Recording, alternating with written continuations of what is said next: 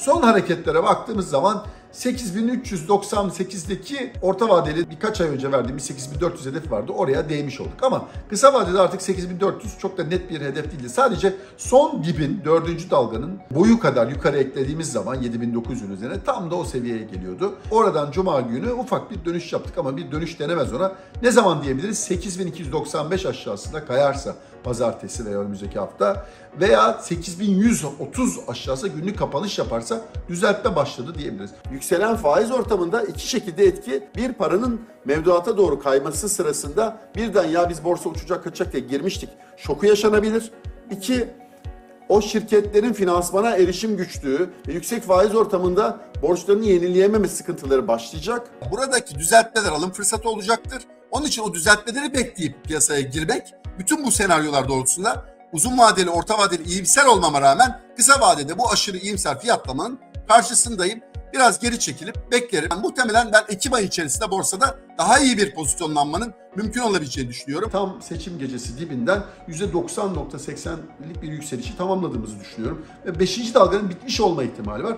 Yani ne demek istiyorum? Buradan gelebilecek en azından bir ABC düzeltmesi birkaç hafta sürebilecek. Belki bir ayın üzerinde bir zaman sürebilecek bir düzeltmenin başlamış olma ihtimali çok yüksek. Alımlar için her düzeltmede almak yerine biraz daha daha büyük bir satış dalgası geçecek bir haber mi gelecek diye biraz dikkatli bakacağız. 8140 aşağısında kaldığı sürece kısa vadede hareketin devamını bekleyeceğiz. Nereye kadar bekleyeceğiz? En az 7460'daki minimum Fibo düzeltme seviyesine kadar. Oranın aşağısında 6877 olası bir düzeltme hedefi olacak. Yakından takip edeceğiz. 7 milyon tane yatırımcı oldu borsada. Bunların e, parasını katlayacak bir yabancı yatırımcı gelmeyecek. Yani onun için o beklenti içinde olunmasın ama enflasyonist ortamda da borsa çökecek, bitecek falan demiyorum. Yanlış anlaşılmasın. Yani hani zaten her şey fiyatlar artarken ama vergi sistemindeki yapılacak değişiklikler borsaya yaramaz. Onu da söyleyeyim. Yani borsanın iki düşmanı vardır. Bir faiz, iki vergi. Maalesef Aynen. şu anda ikisine de ihtiyacımız var.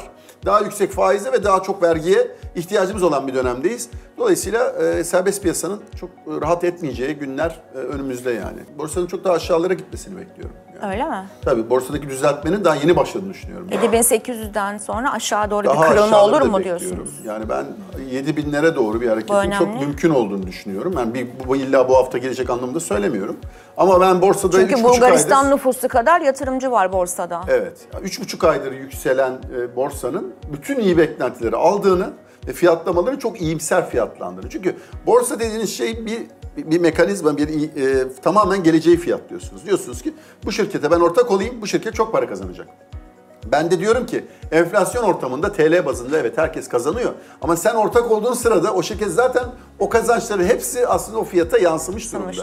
Dolayısıyla sen şu anda aldığın zaman geleceği zaten çok bir yıl sonrasını belki de fiyatlı fiyatından alıyorsun o hisseyi. Anladım. Yani biraz beklemek zorunda kalabilirsin. Onun için biraz temkinli olmaya devam edilsin. Borsanın bir düzeltmesi tamamlansın. Daha yeni başladı geçen hafta düzeltme. Bu düzeltmeler genelde e, bir aya kadar en az sürebilir.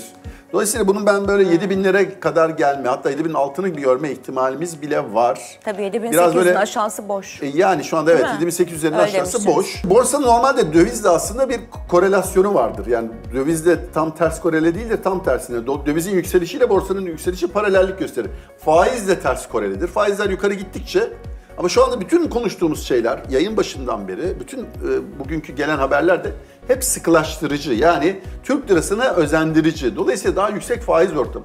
Yüksek faiz ortamı demek bu şirketlerin finansmana erişiminin zorlaşması demek. E, siz de bu şirkete ortak oluyorsunuz. Demek. Evet. Ya diyoruz ki çok kazandı bunlar. Bu şirketler gerçekten çok büyük sermaye transferleri oldu. Az önce Deniz'in anlattığı olay gibi birçok şirketler yaptı bunu. Ve bunların bir kısmı halka açıktı, paralar kazanıldı. Bunları hiçbir şey söylemiyorum. Ama bu noktada artık bu nokta geldiyse hadi geriye Doydum. dönüyor geçtik.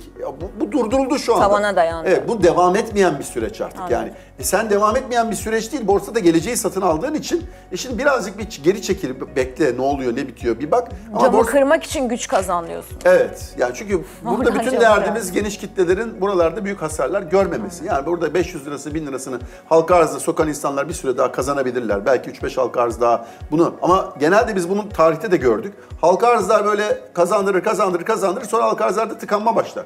Çünkü oraya yeni kitlelerin gelmesi bir noktaya kadar. Yani 7 Taban milyon bile yapabilir. 7 milyon çok büyük bir yatırımcı kitlesi. Tabii Bulgaristan nüfusu kadar Biz birkaç yüz binle dönüyorduk yani. 2020 Aynen. yılına kadar borsada 100 bin yatırımcıyla dönen bir borsaydı burası yani. Yabancı Öyle oranı düşün. taş çatlasın %30 değil mi? E, şimdi evet bir %30 bu %33'e kadar yükseldi gözüküyor ama o şeyde e, bir tane bankanın hissesi çok halka arzı çıktı düşük bir bankana ve fiyatlama yükseldiği için yüksekmiş gözüküyor ama hala aslında nette %30'un Biz çok bizeyiz yani. altındayız. Yine ben bu hafta da e, borsayla ilgili E, Perşembeye kadar. Aynen yani bir sakin olmayı e, ve böyle heyecanlı hareketlerden kaçınmayı. Belki böyle sert geri çekilmeler olursa oralarda biraz pozisyon açma a- alış yönünde e, bakmayı önerebilirim yani bu hafta için.